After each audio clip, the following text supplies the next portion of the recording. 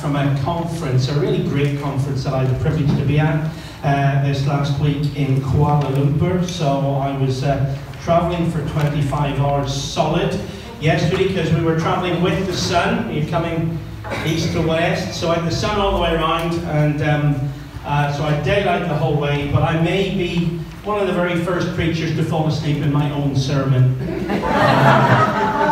so uh, if I do, that gives you permission to, but hopefully, hopefully not.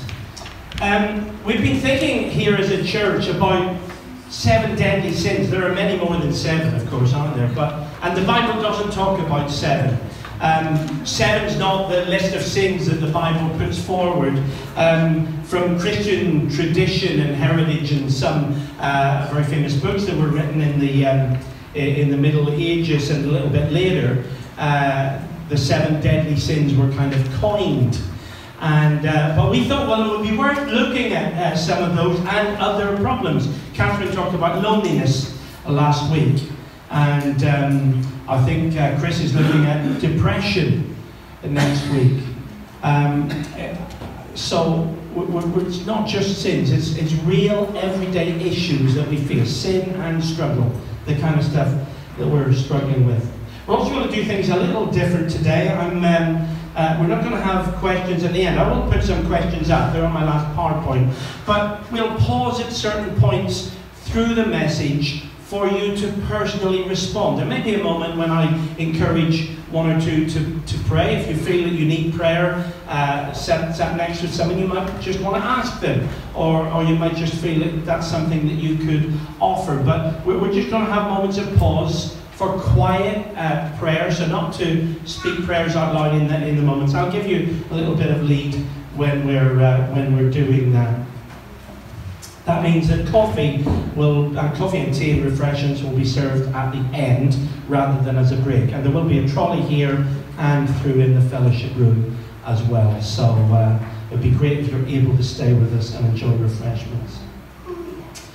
One day in Hereford, Rachel and I lived in Hereford for 20 years. One day in Hereford, there's a place almost opposite our church building that we had been part of there in the city um, where two lanes, uh, very short lanes, uh, become one lane. And um, traffic is, uh, I don't know, I, are you an angry merger? You know what I mean? Are you, are you one of those who sits in the outside lane slowly so people can I'm not looking at anyone, Claire, particularly. Uh, you don't have to know. I'm not asking you, anyone, to confess this. Or lorry drivers who pull out, you can the, the police say that it's much safer and much faster if we zip merge.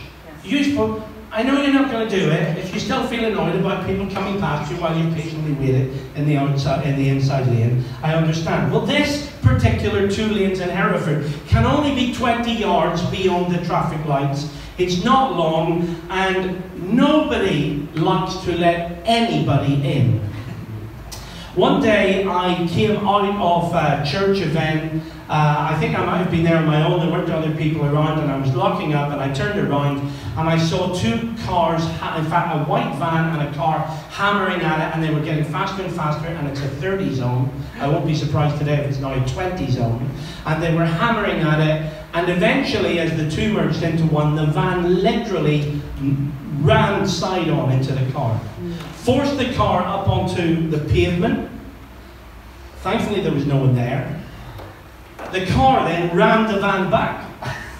And they got faster and faster, smashing each other all the way up this 30 mile an hour uh, road with housing all the way up. And I couldn't believe it. And I, eventually they went out of sight, and I thought, well, what do I do? in the end, I, I didn't do anything. I think one turned off at a junction further up, and I thought, my word, that's ridiculous.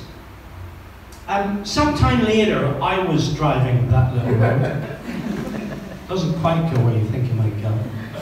Um, and uh, a lady in the inside lane uh, didn't want to let me in, so I eased off and I pulled in behind her. But it was obvious that I could have got past her, and I was a bit miffed, but I, I didn't gesticulate, I didn't say anything, I didn't do anything. But she was furious, and she started honking the horn, and then she started giving me the single finger salute. And um, And I looked and I thought, that's one of the teachers from my girls' primary school. so I waved. and uh, she was still going at it, and she didn't. And then I think she looked properly in a mirror, and the hand went down and off she went in a different direction, probably not at all where she lived or where she was going, just to get out of the way. A few days later, I was in this school. I was chair of governors. I regularly did school assemblies in the school, and I walked into the entrance area, and there she was, and she looked at me and she went, and she walked up to me, and she held her arms out and she hugged me and she said, "I know, I know. I'm going to say, I know. I'm so sorry. I know." And that was all that was said. But two incidents on one little stretch of road that made me think about anger and the consequences of anger and what happens or what could happen when we're angry. It would have been very easy for that van and car to have killed people. Not just themselves, but innocent, ordinary people minding their own business, walking along on the pavement. Well, thank God that that didn't happen. Do you have a problem with anger? Do you know someone who does have a problem with anger? The, the first appearance of the word anger in the, in the Bible gives an insight into how serious a problem it can be. And it appears in the book of Genesis and chapter 4. By the way, when I was looking at, at the word angry or anger, I thought Um, I wonder if the first appearance of the word anger is when Adam and Eve sinned, that God was angry. But you know, it doesn't say that. I, I reread the text yesterday. God wasn't angry. In fact, there's a deep sense that God was disappointed. God was heartbroken. But, but we don't read there. We do other places in the Bible of God's anger.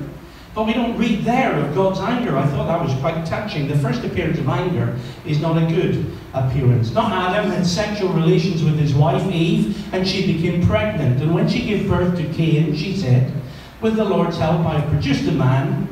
And later she gave birth to his brother and named him Abel. And when they grew up, Abel became a shepherd, while Cain cultivated the ground. When it was time for the harvest, Cain presented some of his crops as a gift to the Lord. Abel also brought a gift, the best portions of the firstborn lambs from his flock. The Lord accepted Abel and his gift. He did not accept Cain and his gift. This made Cain very angry, and he looked dejected. Cain became angry with God.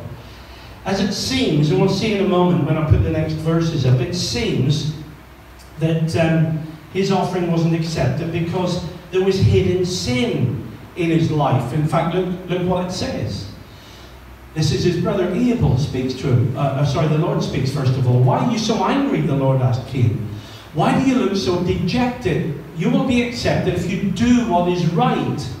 I don't think this is particularly about the offering. Sometimes we preach that, well, a lamb has to die, blood has to be shed. He should have offered a lamb, he should have um, shed blood because the Bible is pointing always to Jesus who shed his blood for us. But it seems there's something else going on. Do what is right, but if you refuse to do what is right, then watch out. Sin is crouching at the door, eager to control you, but you must subdue it and be its master. One day Cain suggested to his brother, let's go out into the fields. And while they were in the field, Cain attacked his brother Abel and killed him. So that this, there's this anger that's bubbling up inside Cain, the older brother of, uh, son of Adam and Eve. And um, the very presence of his brother Abel seemed to rile him even more. So Cain was angry but then he turned his anger at his brother. His brother's existence, his brother's acceptance, his brother's standing before God made him even more angry. And it led him to murder. The first family devastated by anger overflowing into murder. Of course, we know the commandment do not murder. But Jesus dramatically draws us back to this first story this first occurrence of anger when he speaks in Matthew 5 in the Sermon on the Mount. Jesus says, You have heard that our ancestors were told, You must not murder. If you commit murder, you're subject to judgment. But I say, if you are even angry with someone, you're subject to judgment. If you call someone an idiot, you're in danger of being brought before the court. If you curse someone, you're in danger of the fires of hell. Jesus is not exactly saying anger is the same as murder, but Jesus is saying anger is the root of murder. If you allow anger to grow in your heart, if you allow anger to be aimed at someone, anger will lead to sin, and sin is devastating. Because God gets angry, and God's without sin. Have you ever been angry? Those of you who've had children, ever been angry with your children? And you know that there have been occasions when you've been angry and acted in righteous anger in how you've disciplined them, and other times when you acted in unrighteous anger. You know the difference? The difference is that my mum and dad, um, when I was growing up, would um, use uh, corporal punishment. They would discipline me. I'd get a slap backside. My mum had a little cane. I'm not complaining. I don't want you to report them. They're with the Lord now, so there's nothing you can do about it. I, I don't think, by and large, it did me any harm, except one occasion, particularly that I remember. I remember talking to my dad about it, but once I, I was probably being a bit stroppy and a bit annoying, and I, I, you know, I think the door slammed, and I don't remember slamming it, but it slammed, and I heard my dad's footsteps, boom, boom, boom, and I ran up the stairs, boom, boom, boom, boom, boom, boom, and I heard my dad come after me, boom, boom, boom, and I went into the bathroom, and I shut the bathroom door, and he put the door in with his shoulder, and he came in and he threw me over the bathroom, pulled my pants down, and walloped my backside, and I remember it for years because I think it was wrong. Now, I have some of my dad's tendency, and my wife, don't look at me like that, I love. You. I have some of that tendency there. It's funny how these things pass down with the generations. You have to identify it. We're going to, we're to look at the steps to deal with anger. Now, I asked you earlier, have you got a problem with anger? I'm not asking you to put your hand up. I'm not asking you to stand up. But if you've got a problem with anger, or perhaps there's someone in your mind and you know they have a problem with anger, or perhaps you're in a relationship or have been in a relationship where someone has got a problem with anger, that's really hard to live with. And that's really tough. The link between anger and evil is pointed out elsewhere in the Bible. Psalm 37, verse 8. Stop being angry, turn from your rage. Do not lose your temper, it only leads to harm. So the warning's clear. Ecclesiastes in the Old Testament. Control your temper, for anger labels you a fool. Friends, anger is a problem. It's a root of terrible evil in our world. And it can be a root of terrible evil in our lives. It can cause devastation in families. So as I was thinking about this yesterday, I thought, well, what causes anger? What causes anger? For Cain, at Cain and Abel, it was hidden sin. We don't know what it was, but the Lord said to him, Do what is right. There was sin that he wasn't dealing with. You know, it's not okay. that the, the New Testament makes it quite clear that when we come to worship God, but we've got sin in our heart against a brother or sister, using the Old Testament example of bringing your sacrifice, your offering to the temple, the Lord says, Leave your sacrifice at the altar, don't worship, and go and make things right with your brother or sister. Go and sort it out. Go and put it right. If you need to apologize, if you need to confess, if you need to ask for forgiveness, you go and sort it out and then come and worship God. And sometimes too many of us are just too too easy in the sense that we think, well, you know, I haven't lived right for God this week and I've made a mess of my life, but you know, it's all right. I can easy come, easy go. Listen, by the way, what I'm saying is not a reason to stop you coming to church. I believe it's here that you can be convicted, perhaps, by the Spirit and make things right. That it can be put right. I think when we remove ourselves from the fellowship of God's people, that we can end up being isolated. Catherine talked about loneliness last week, and one of the, the burdens of loneliness is isolation. And for us, if we want to be a follower of Jesus, a disciple of Jesus, isolation is a terrible thing. We need one another. We need one another because sometimes I need a brother or sister to say to me, Hey, Martin, I don't think you were right the way you spoke. I don't think that was right, the way you acted. We need one another for accountability. he had hidden sin and then he had envy. Anger is usually a sign of unease or a lack of ease. The word dis-ease means absence of ease. Dis-ease.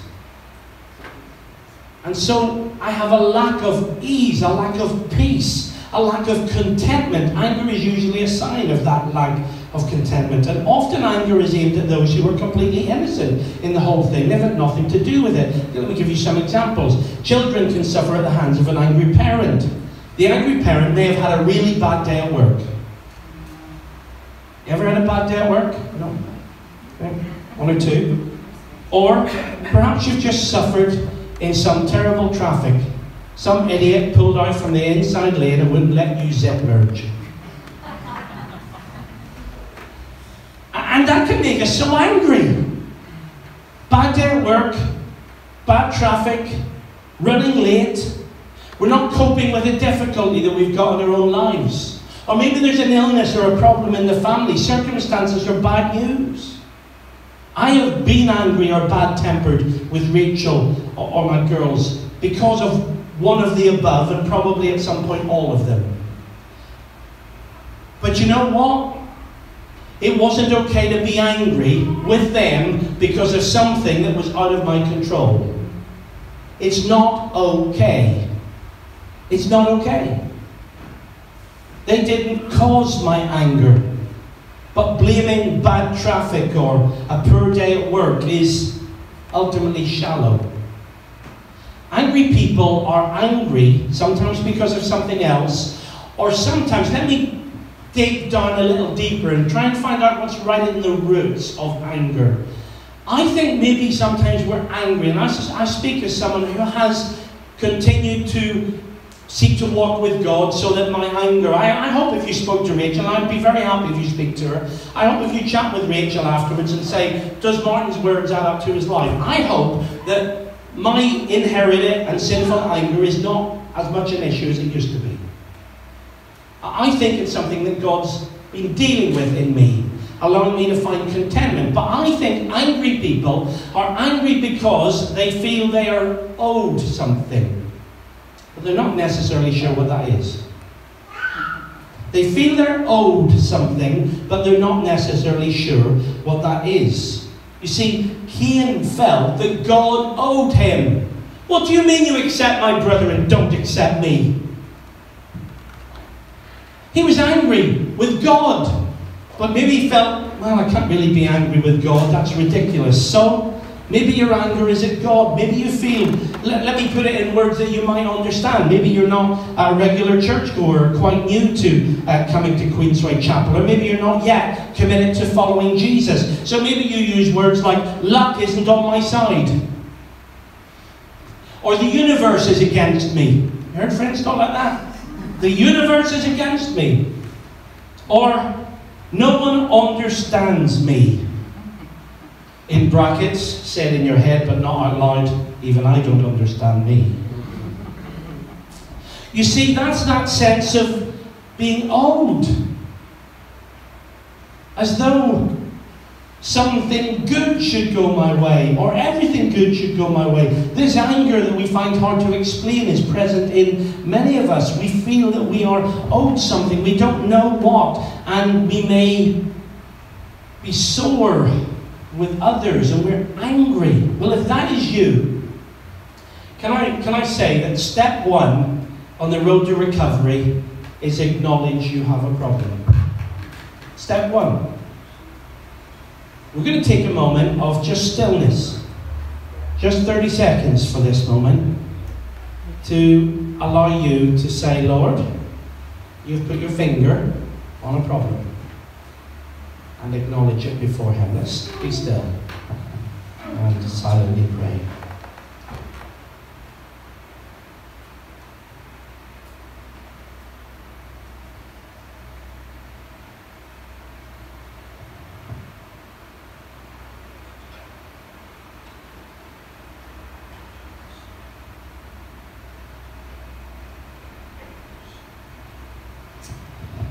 Yes, Lord, that is me. Maybe you could say that I'm angry. I feel that I am owed something. Lord, I acknowledge my anger. Secondly, angry people aim their anger at those who expose their failure. Hmm. So, although the words are the Lord's words that are spoken to uh, Cain, you will be accepted if you do what is right, but if you don't, watch out, it'll get worse. Sin is crouching at the door. Abel, his brother, was the daily reminder that he was a mess, out of sync, broken, sinful, and his brother was right. Had got things together. You ever get angry with people who seem to have it together? Like they've done something to offend you? The psalmist in the, in the Old Testament, many of the psalms begin with the psalmist, even David, complaining about how all these terrible people have everything all sorted. Lord, how can the wicked be so wealthy? It's ridiculous. So sometimes the presence of a good person, an upright person, a forgiven person, a kind person. You know, sometimes kindness can rile us even more. Have you ever been in such a mood that when someone's come to offer you forgiveness, kindness, gentleness, care, you throw it back in their face, or at least you feel it because you're so mad? Or is it just me? Just me, thank you. Okay, I think some of you feel this too. I think some of you are like, yeah, I felt that. I know what you're talking about. And so his anger with God and everything becomes focused on his anger at his brother. God puts it so eloquently. You'll be accepted if you do what is right, but if you don't look out, it will get worse. Sin is crouching right at the door. My wife um, uh, often in the past uh, wouldn't have put it quite so eloquent, eloquently. Um, my wife is eloquent. I was thinking what a great job she did leading this morning, but she would sometimes be just more blunt. You're being an idiot. Yeah? Ever heard anyone say that to you? You're being an idiot. Listen to yourself. it's true. If step one is recognizing your anger because you feel owed something, then step two is acknowledging that your anger hurts others. You see, anger isn't just about you and God, anger is about you and others. You see, the Bible is very clear that sin breaks relationship with God in the vertical my relationship with God is broken. I'm angry with Him. I feel owed by Him. I'm annoyed with Him. And now my anger overflows into my relationships with other people, and I destroy my relationships. I break my marriage vows. I alienate my children. I fall out with my neighbours. Anger can do that. So let's take a moment again just to simply quietly pray Perhaps there are those that you know that your anger has hurt. Maybe it's time to just confess that to God. Name them in your heart as you pray. Let's be still.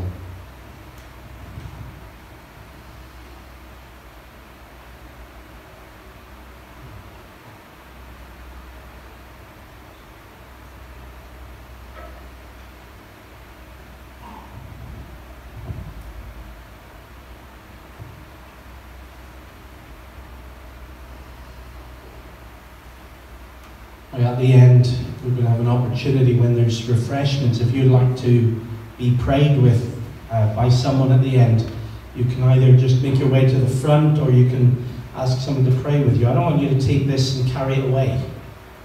We, can get this dealt with and get a step forward this morning that will be the significant foundation to deal with anger for the rest of your life.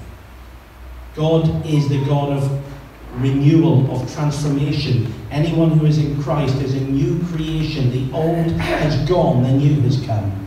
You do not have to live like this. You may be telling yourself, I'll never get through this. I'll never change. I have tried. Well, that brings us to the third point. So the Lord tells Cain in a very straightforward, home truth way subdue it, master it, master it.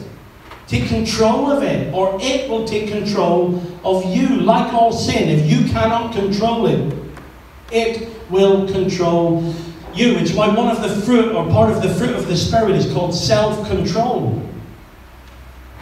The Holy Spirit, God in us, gives us an ability to have control over things that used to control us, but no longer need to. And that's what being filled with the Spirit is like.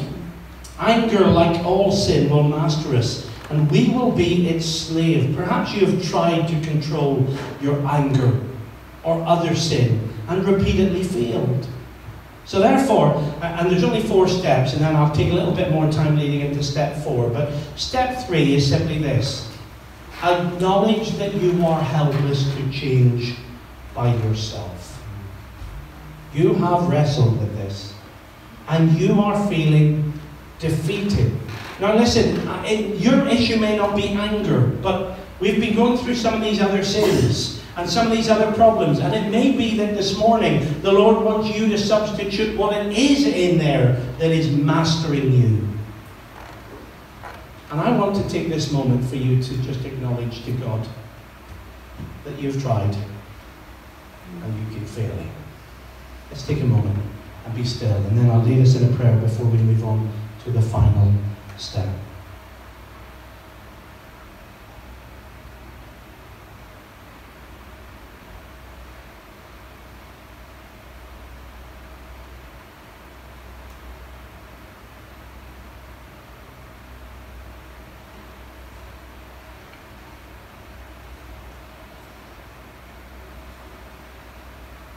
if you're feeling really convicted about this, don't Church is a safe place to allow those things to come out. I don't, don't sit and keep a lid on it here.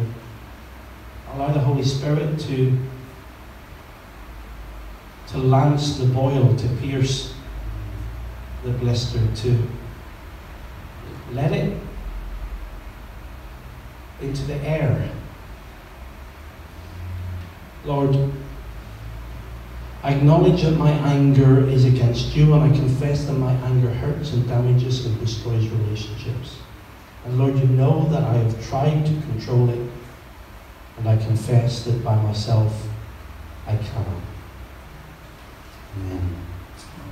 So, how can we be free from sin, whether it's anger or whether it's something else? This is from Galatians.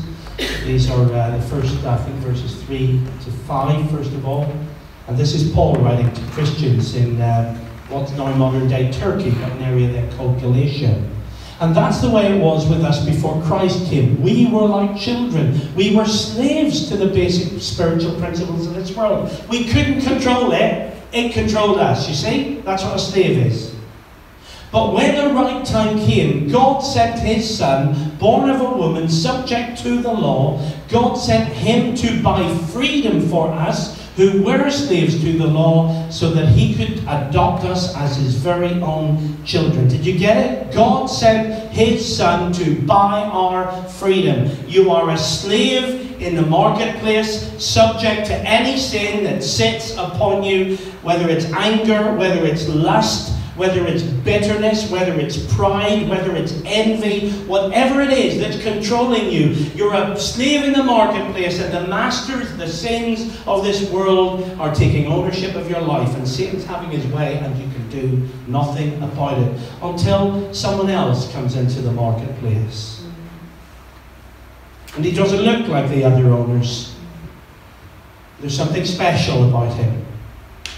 And he comes up and he reaches his hand down, like that lovely picture that Rachel showed us, that video.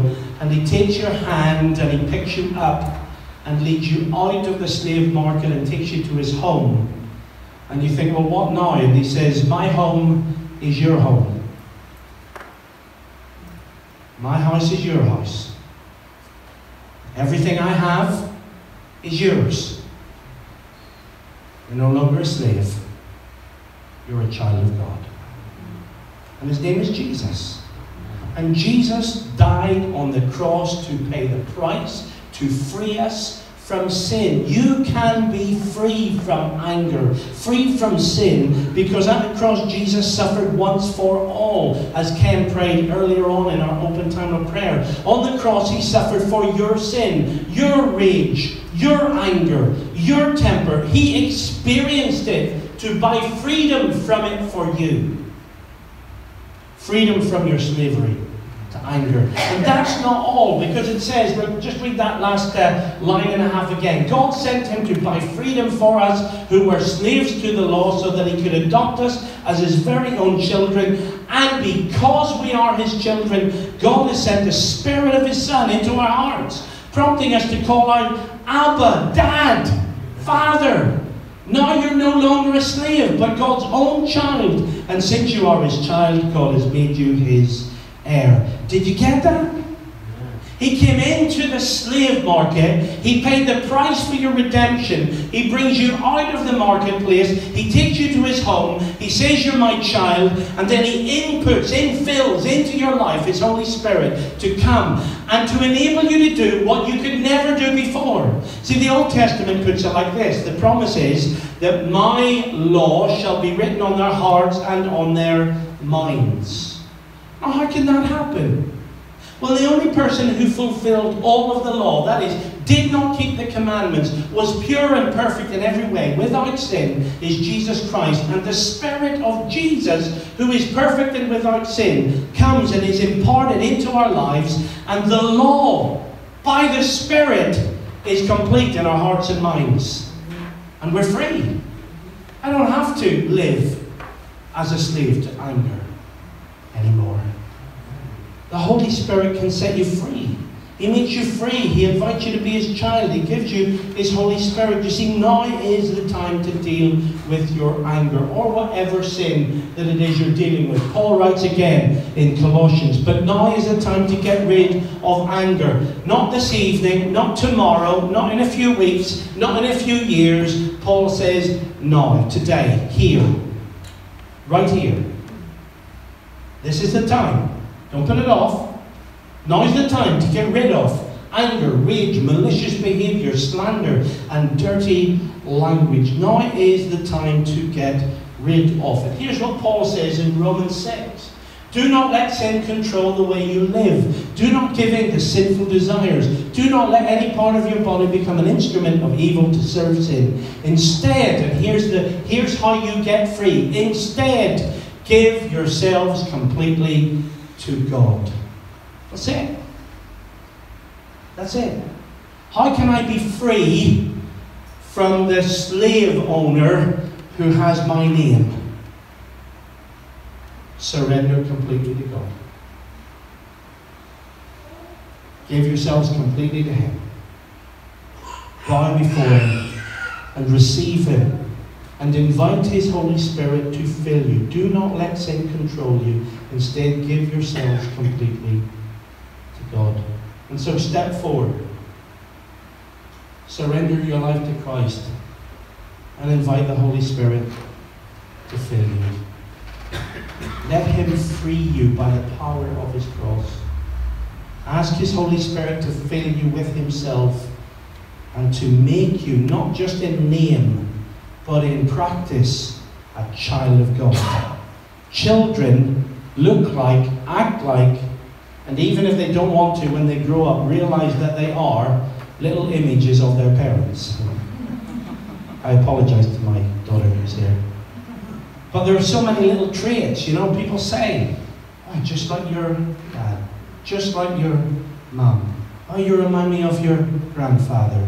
There's these little things. If you're a child of God, you should start to demonstrate the reality of God's life in your heart, in your attitudes, in your actions. But that comes through surrendering to Christ and inviting the Holy Spirit to fill you. So I'm going to invite you now to, um, to pray.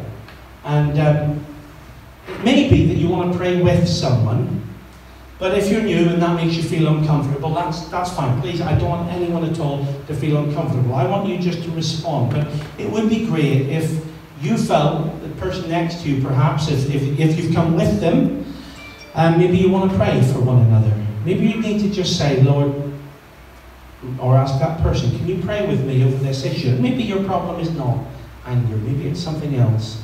But you know, the solution is the same. The blood of Jesus shed to set you free, and the Holy Spirit indwelling and infilling your life to allow you to live free. Set free by the death of Jesus, living free through the Spirit of Christ. So let's just um, be still, and uh, after two or three minutes, um, I will lead us in a, in a prayer, and then we'll move on to a closing song in, in a few moments. So let's just uh, be still. And perhaps if you want to pray with someone or share with someone, now would be a good time to do that. Let's take a few moments to, to do that.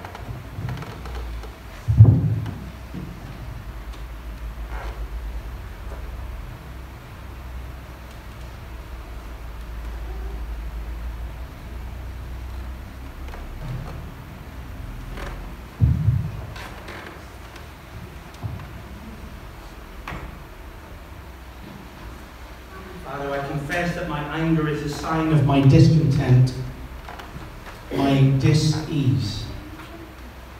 And my anger has truly been directed at you. Forgive me too, Father, for hurting others, responding in anger and with sin. Lord, I confess that I by myself cannot control my sin. But I thank you that you know. I thank you, Jesus, for bearing my anger, for taking my sin and my shame, and paying the price for it on the cross of Calvary. Father, forgive me and make me new. Holy Spirit, fill me. Fill me now and give me the power today and each day to turn away from anger and to be filled with your tender heart and with your mercy. I ask this in Jesus' name. Amen.